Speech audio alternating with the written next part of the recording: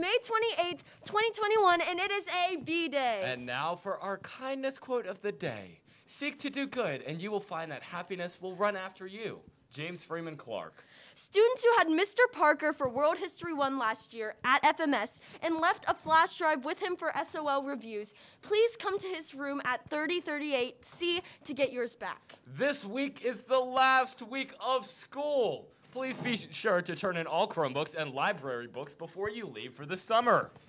Today in in sports. Varsity basketball versus EC Glass at 6 p.m. at Glass. JV girls soccer versus Brookville at 6 p.m. at JF.